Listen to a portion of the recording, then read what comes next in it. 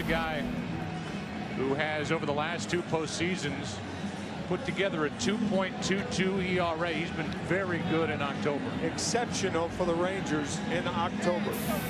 Scouting report, his ERA two runs better on the road. That's why he's starting here in St. Louis, a fly ball pitcher. Freese chased it in the first strikeout for Colby Lewis.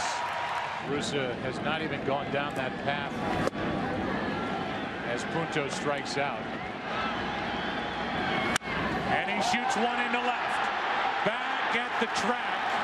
This ball will fall short as Pujols got under it and Hamilton hauls it in.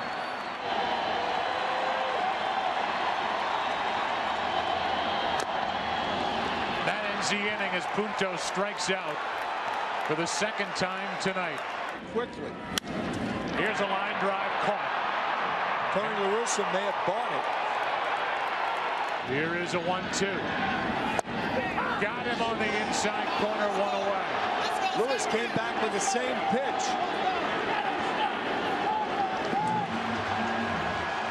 And they will. The ball still hasn't left the infield, and the Cardinals have bases loaded, one out. The Rangers switch pitchers.